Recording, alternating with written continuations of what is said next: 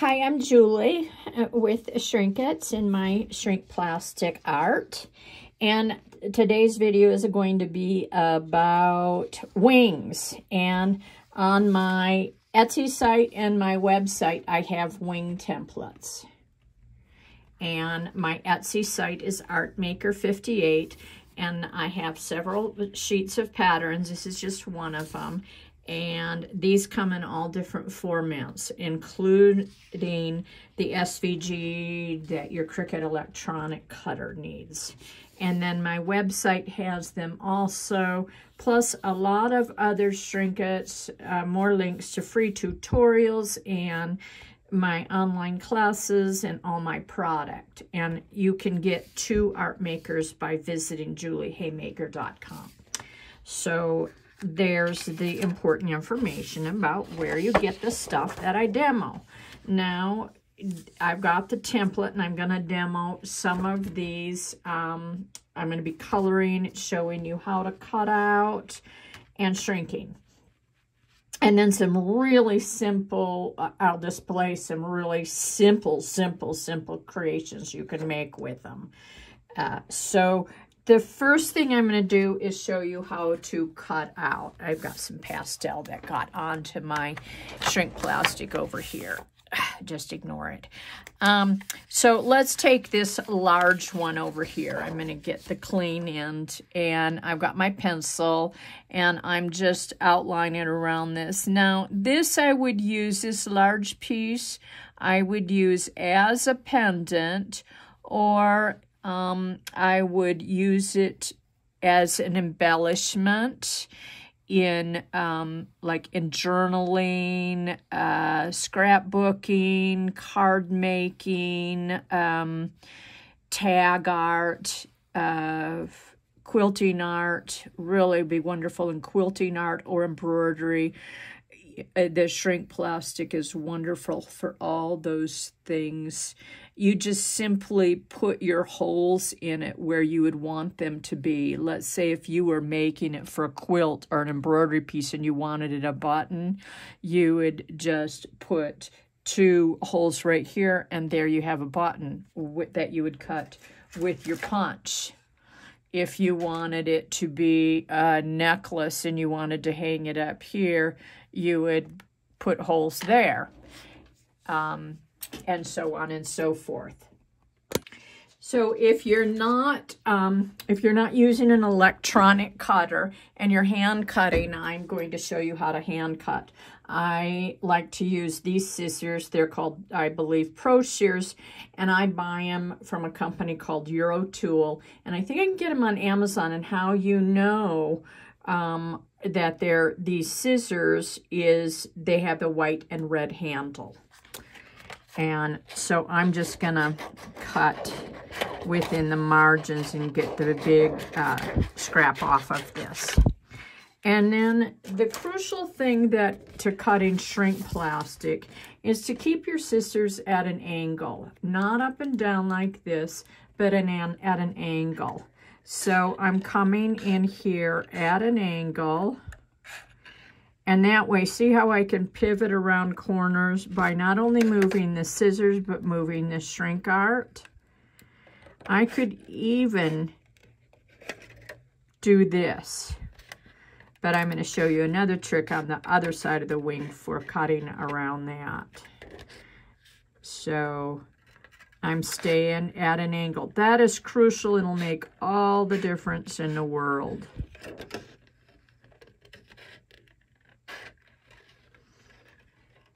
And this is why I hand cut the majority of the time.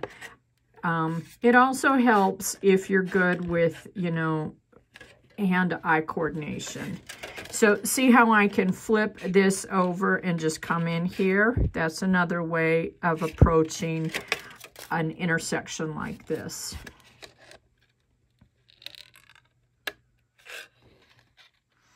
I keep my eye not on the scissors so much, but on the line. If I watch the scissors, I don't see the line. So I, you know, I just keep my line, my eye on the line and where I'm going with it. Not where I'm cutting, but where I'm heading. And then I'm going to come in here with a gum eraser and erase any pencil lines that show.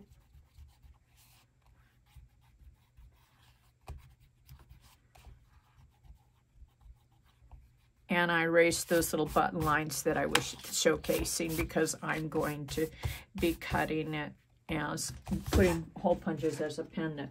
Now this is the McGill long reach hole punch and it's a nice punch to have in case you're doing any kind of large trinket and need to reach in that far. Most punches only come to there and this one here is a two inch reach and it's crucial. I carry these on my website in my favorite size which is an eighth inch and it shrinks down to a 16th inch. I carry a 16th inch and it shrinks down to a 32nd inch and it fits perfectly on the pin of my molds, but it's not my favorite size. This one here is the 8th inch. And then I carry a quarter inch for large holes, like if you're using large hole beads, large hole beads. So here I am, and I've cut those holes, and that's cutting, oops, cutting with the shrink plastic okay? Now, I've, I've showcased, all of these are double winged, but you may want to make them single wing. So I'm going to showcase the uh, little bee wing here and the little uh, dragonfly wing. And this over here is kind of some kind of little like ladybug wing. You know how their bodies are really big and then they open up their little shells and the wings look really tiny and they fly kind of slow. That's probably why. So, on this one here, the bee wing, like what if I want to make earrings? I'll show you. I just come like so.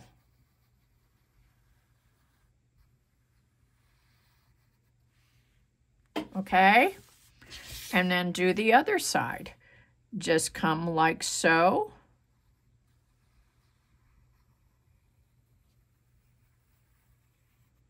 And I'll punch a hole there and punch a hole there. Now let's talk about the dragonfly wings.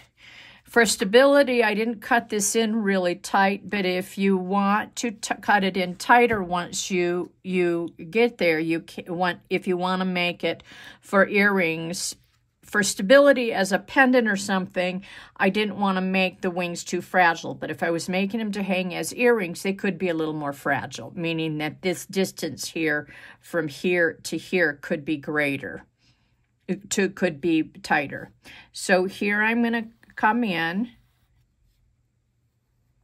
and this is where I'm going to do some artist license with this okay? And the same over here. I'm coming in.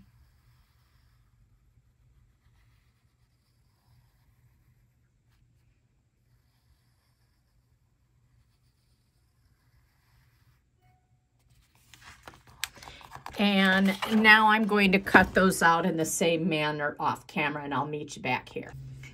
I have everything cut and I cut out this monarch shape or traditional shape butterfly and that's the first one I'm going to be demoing um, with doing color on it. And um, I'm going to go in with inks. And, and, and demoing how you can color whole backgrounds with just inks. This is a really dried out pad. Ready for me to put a refill, re-inker on it. Um, that's what I like about the Ranger inks. I like everything about the archival inks, but one of them is the ability to buy re-inkers for them. Little jars of inks that make the pads last forever. And you can, you know, pick, you buy the pad, which is nice, once you got your color. And then once it starts to dry out, if you have the reinker, I, you know, sunflower yellow, I can just go forever with that with a reinker for about $5. Um, then Archival makes a color called Monarch Orange.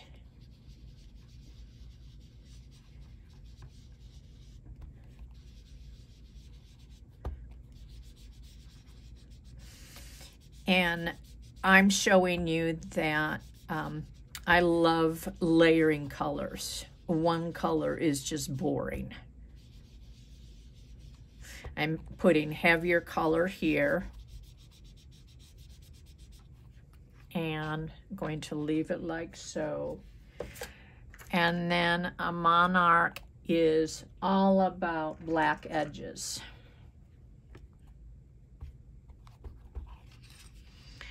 So I always test to see how much, um, how juicy my ink pad is. And this one will probably need to be re-inked, so I'm going to get my re-inker and re-ink it. This is the re-inker.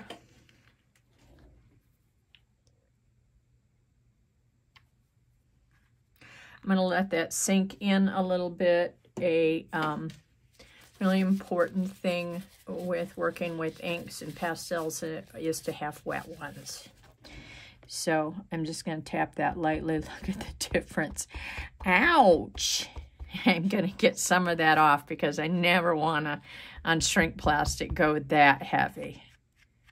The ink just won't dry on a non-porous surface.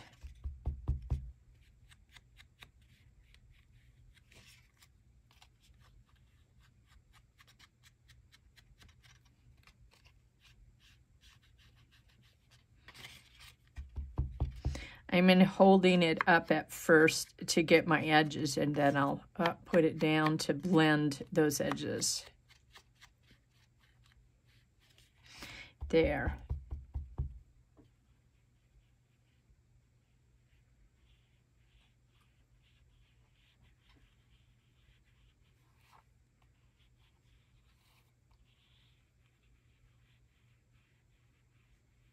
using a really light touch on this. Then I'll build up more color. Pounce it on.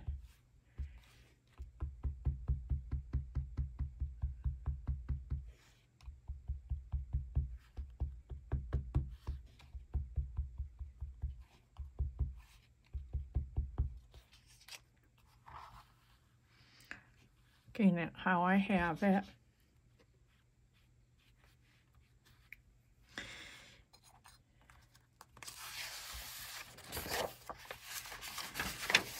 Fold that over. And always, always, always, always blot. Always blot. No matter how dry you think your ink is, blot, blot, blot. See? You don't want to rely on the heat gun to dry your ink. These inks are made for papers, not, and that's porous surface, not um, non-porous surfaces. But if we can get them dry before we put them down, before we heat them, they will work just fine. So now I'm coming in with my colored um, pencil and I'm going to create veins.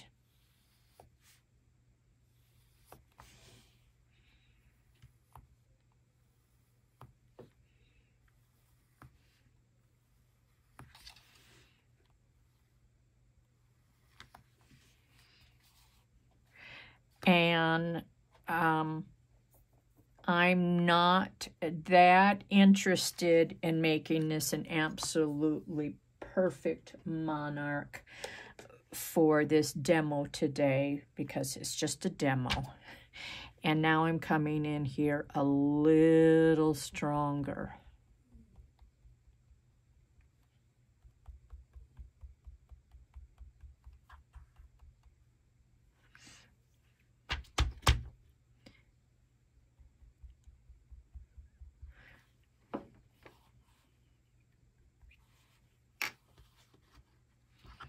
And I'm blotting.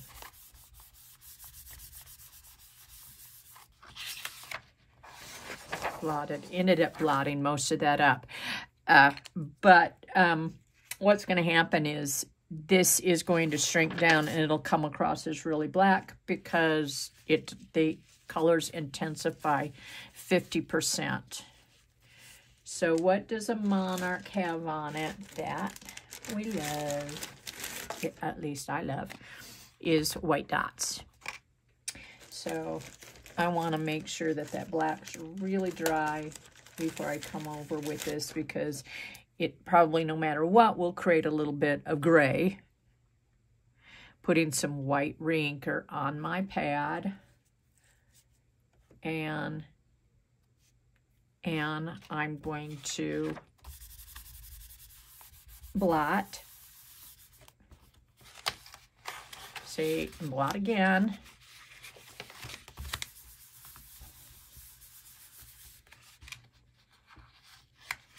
There. And then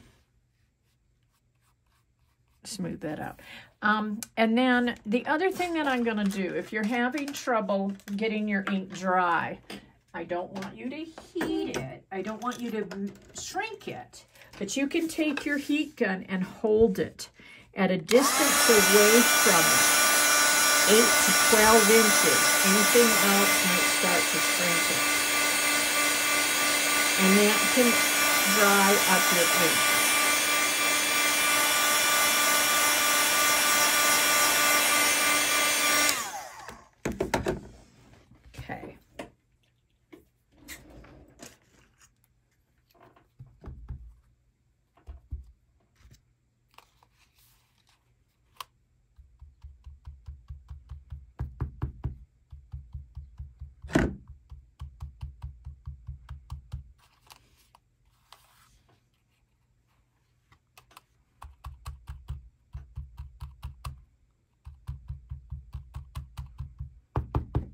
I'm getting a lot of this off so I can be really soft with this.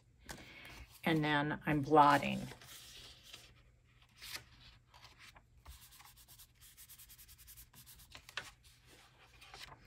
And yeah, that's, uh, it, it will show. It will show. And now um, I'm going to let that dry. And we will shrink that down in a little bit. Now, Let's wipe our hands off. And I'm going to get ready for the next. While I'm working with black and white, I'm going to continue that with the bee wings. And if I forgot to mention, this this is all on the frosted side. So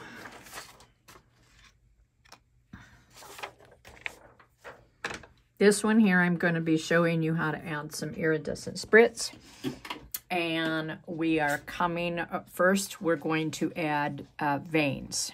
Doing that with the pencil, and this is organically, meaning I'm not drawing from it, I'm not tracing, I'm just coming in here with how I would see um, bug wings happening, veins.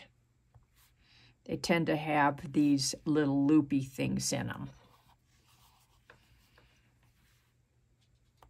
These little things, so. Nice sharp black Prismacolor pencil.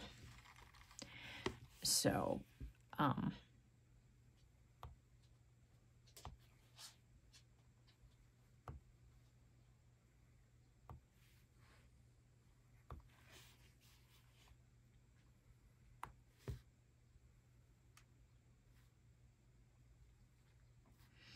I'm not concerned that each one look identical. So now what I'm going to do is come in here with a bit of black shadowing around the edge. So I'm coming here and taking a lot of my black off of my dauber and just coming in here with a minimal shadow.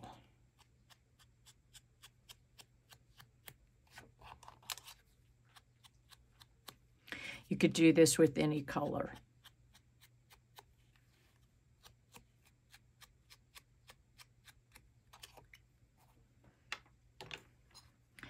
And because I'm working with black, or anything I'm working with and it's messy, wiping my hands with wet ones. Wet ones are great for cleaning the ink off. And then cleaning it off your stencil too. So I'm wiping down my stencil in case I want to use that later on with other colors. Now, I'm going to demo. Next, I'm going to demo how to use this spritzer on here. Okay, this is sheer shimmer, shimmer spritz. And you can buy this on my website, which I showed you at the beginning. And you shake this up. And this is once again made for paper art. So that's a porous material. And we're going to be using it on a non-porous surface. So I'm shaking it up. And I'm, if you want to put a heavy coat on, it'll be really glittery. Because remember, the glitter uh, intensifies 50%. So I just recommend a light spritz. One, two, three.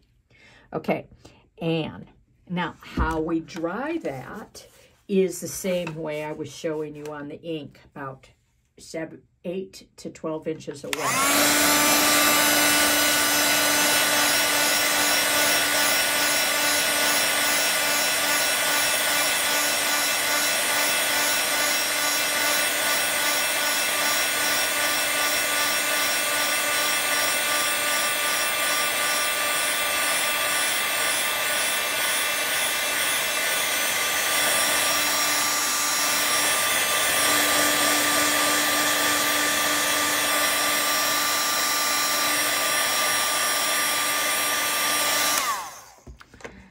and that's pretty dry. So I'm going to put that aside to also dry a little longer. And the next one I'm going to do for you are the dragonfly wings. So I've got my dragonfly wings and I want to show you how much more I cut in here with these because, you know, I don't want this to be fragile if it was going to be a necklace. Um, but you can cut in even deeper if you want to. And it'll give it more of the effect of two wings instead of a connected wing. But we always have to keep in mind the fragility of shrink plastic when we're wearing it. Even, you know, just the bigger the piece, of anything, the more tension it's going to receive. So um, I'm going to be coloring these. I think of a dragonfly is greeny blues, but the one that visits my yard is bright orange. He's a big one, and he's orange, and uh, it just is so exciting to see him. So I'm going to put all the colors of the rainbow on this.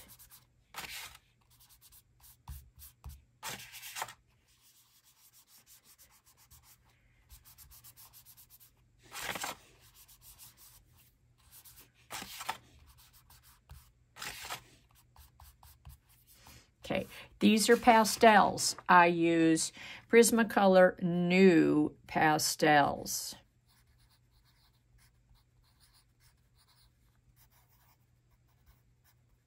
Any will work. And I have a video on using pastels on shrink plastic. Um, and so just click through the videos and watch it. So what I'm going to do is come in here and edge this with purple. And I'm going to be really careful to try not to break this. Whoops, and it's cracking a little bit. That'll probably fuse when I um, shrink it.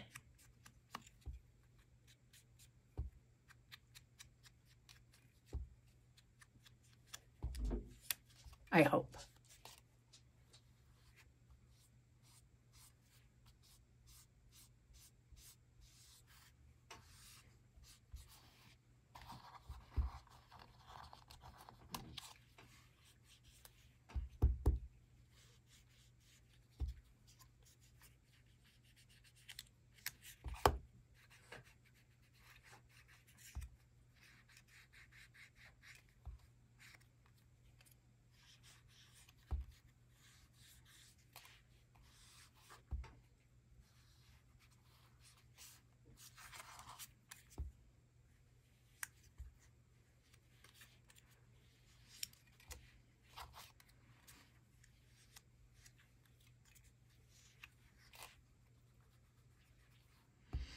And I'm going to bring this in here, this shadowing, to help me say, this is a divided wing.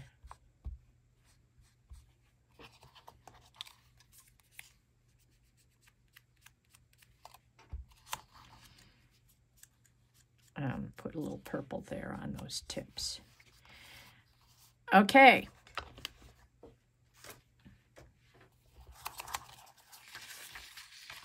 Plot. And I'm going to come in with my black for really delicate veins on this.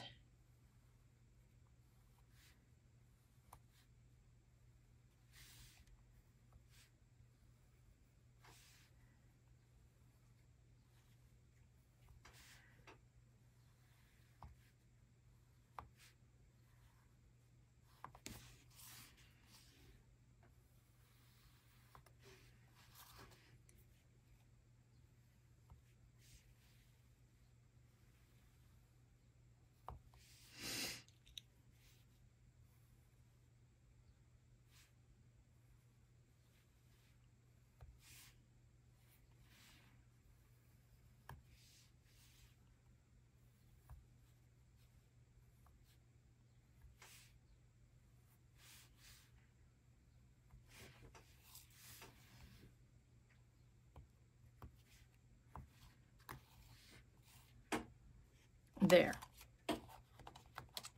And because I have that black on there, if I've just got a little bit of this on here, I'm going to give a little bit to the tips. And sometimes I simply use black just um, because I wear black. So if I've got something, I'm like, oh, that's got a little black in it, that'll go with this. Okay, now on to the next one. The next one we're going to do is the large piece. And I'm going to make use pastels and stamps on this. And stencils, I mean not stamps, stencils. I'm going to make this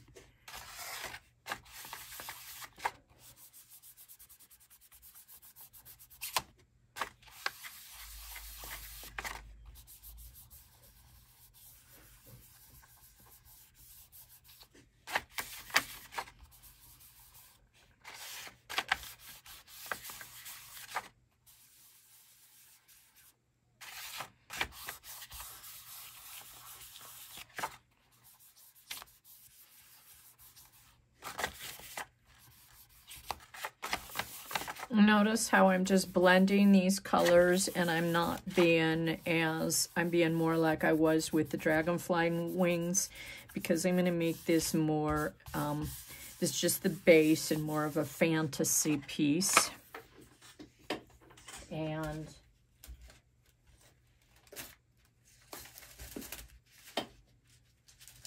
I'm getting my stencils over here.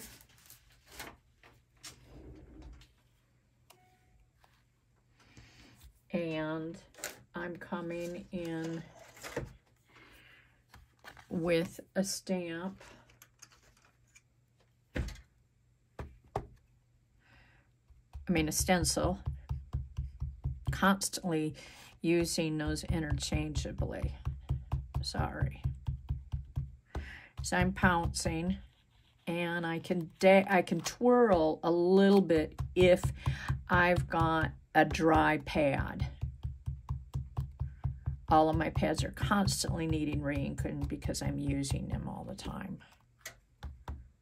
You want to hold firmly with your stencil. You don't want it to shift on you when using a pattern and creating a pattern that is centered. You can peek under it and see how you're doing.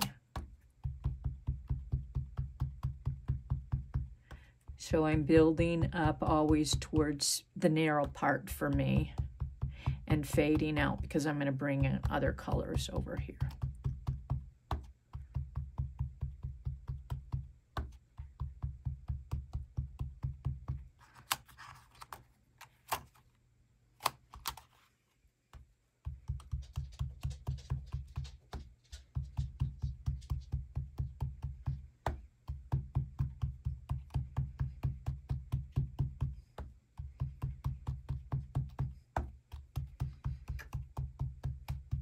Better to build up ink and use a dryer pad than to um, put too much ink on. And I am going to be um, burnishing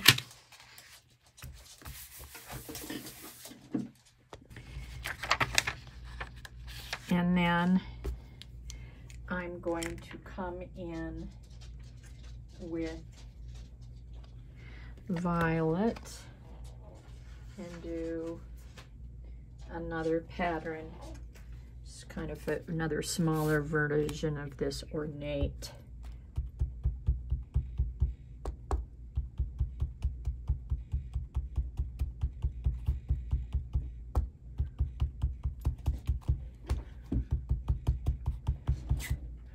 Peek, see how I'm doing.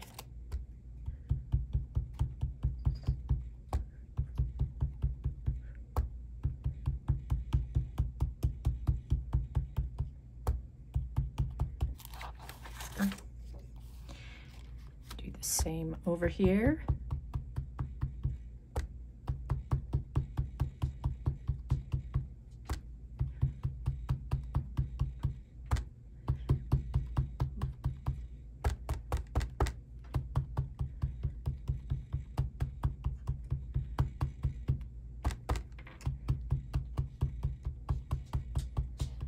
We can see if I've got that strong enough there.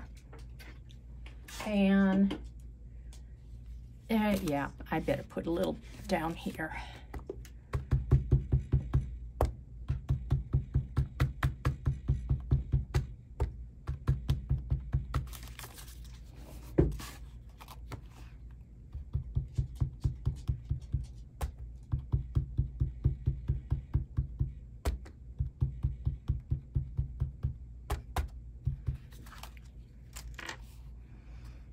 There.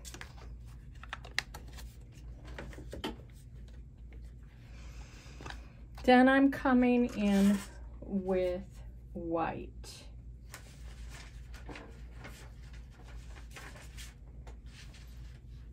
And I love using the polka dot.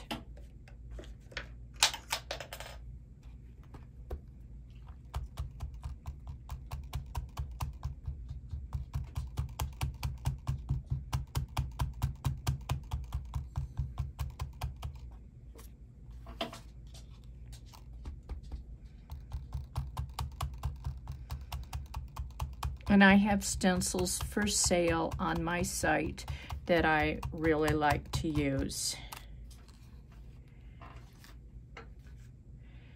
So,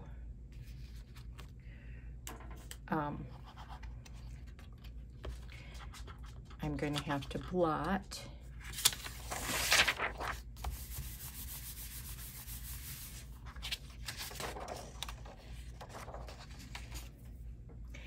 And what I'm going to do now is come in um, with little dots up here. Just, I'm just going over the pattern. I'm not, I'm just building pattern on pattern on pattern. And this is with colored pencils. And I'm using a magenta color.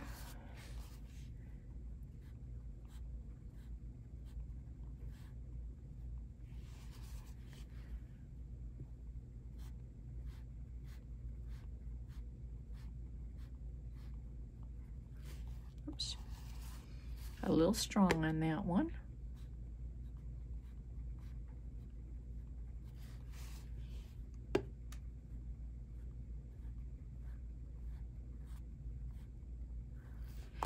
And I'm going to give this guy some veins. Not a whole lot, just maybe three.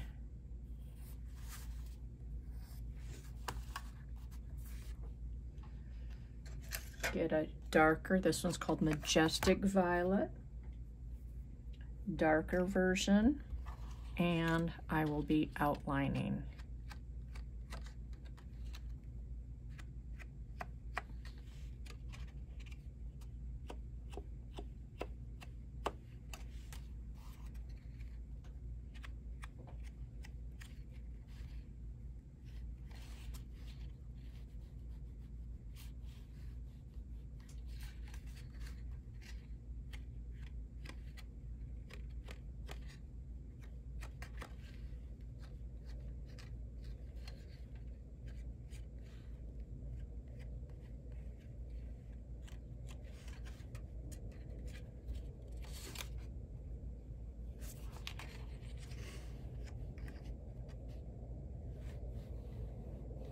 These are always tricky to go around.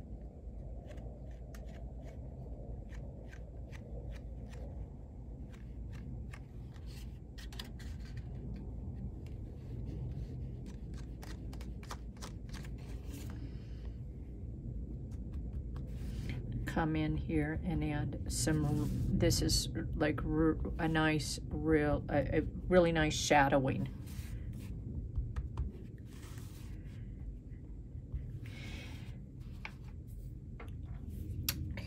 Now, for something unexpected, we're going to, I'm going to cut this because this template doesn't go all the way to the edge. And when you see what I'm going to do, I'm going to protect that right there, and I'm going to protect that right there. And what I'm doing with the spritzer is this right here.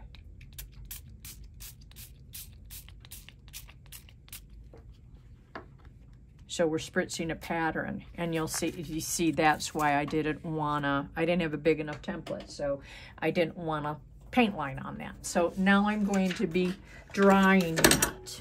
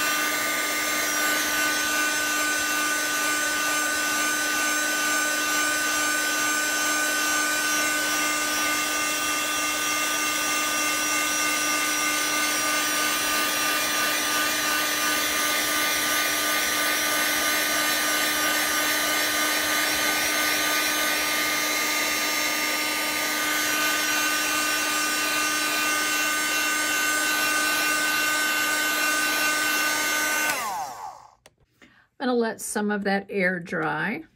It's taking a little bit of time.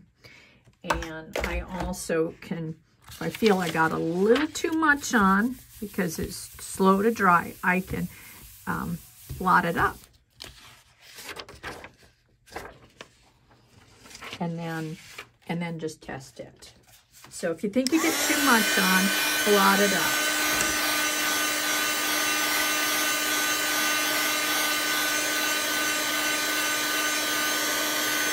It's pretty dry now. You can see the glistening pattern on there. Okay. So now we're going to shrink things down. I like my container for shrinking plate pieces because it contains the heat. If I shrink a large piece outside of a container, this side will remain cooler as this side is warmed up and no matter where I'm moving my heat. And because of that heating unevenly, the shape can shrink down and not it, it awkwardly and lose its original shape and be mishappen where if I put it in a container, even if it doesn't fit all the way, the heat stays contained and the piece shrinks evenly. Thus, when it shrunk down, it usually 90% of the time solves the problem with an, an irregular shape. So we're going to start with um, our uh, bee wings. So here are bee wings, and I'm going to have my wooden block handy to um, put on them to keep them flat. And this is my hand forming kit that comes on my site. And this is a silicone bowl.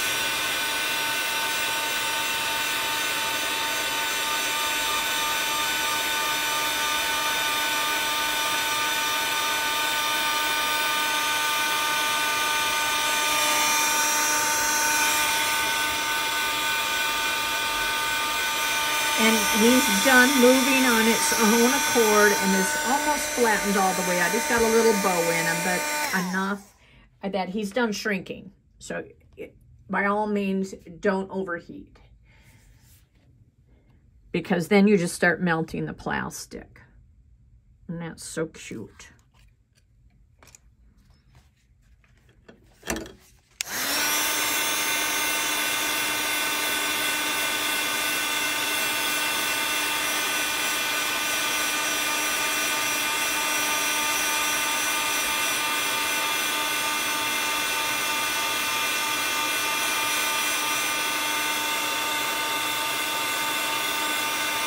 Done shrinking a tiny little bow in, in it. Um, I just place it. The weight of that block is enough to hold it down. How can how you can tell if you've over shrunk something? See how this edge is frosted? If that gets in really crisp, that's how you want it. If that starts to get kind of rounded and really shiny, you've overheated it. That edge. So you want that nice and and crisp. So there are our little bee wings. Now, next we're going to do our monarch. A pseudo-monarch.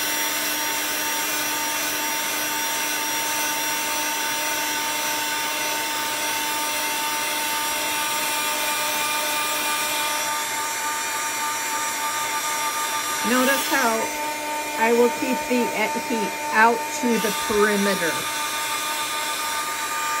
of the shape.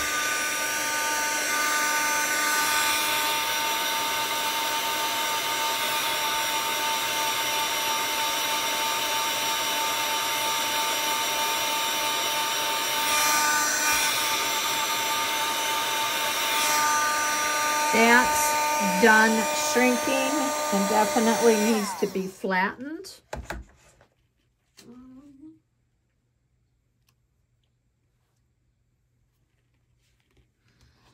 And there's our pseudo monarch. Lovely on both sides.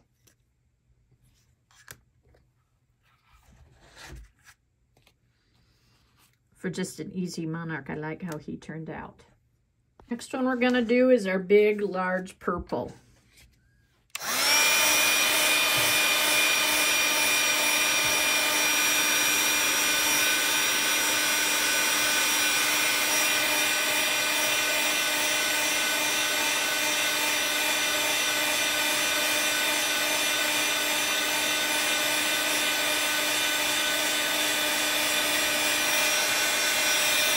Now this is where I want to be mindful that it doesn't touch itself.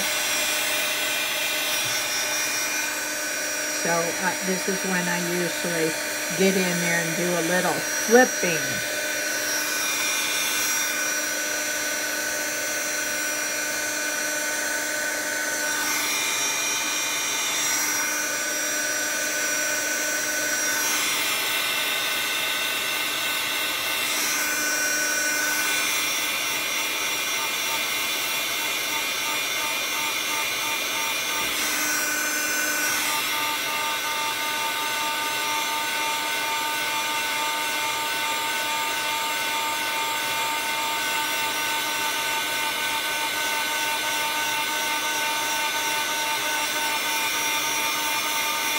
Now, even though it hasn't totally flattened out, it's done shrinking.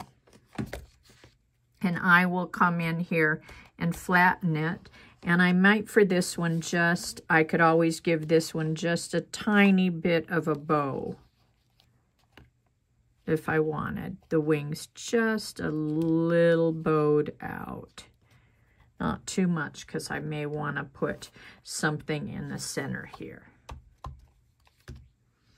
So there I am. So here I am with a few examples of what I've done, and I just done really simple. On this one here, I used the Shrinkets beads, and I used components that you can find on my Etsy site, and I simply used E6000 to glue those on the wings. And then these are silk ribbons that I got at Rings and Things. And um, I like, over here, this is just attaching it just really basic jump rings on a chain.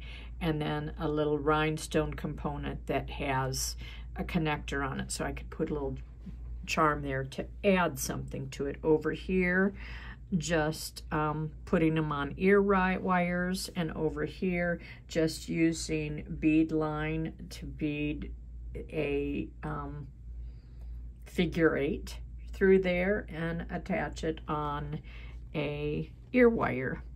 So that's um, how to use my wing templates and several techniques on how to get variety with that. So I hope you enjoyed this video, and if you did, please like and subscribe. Thank you.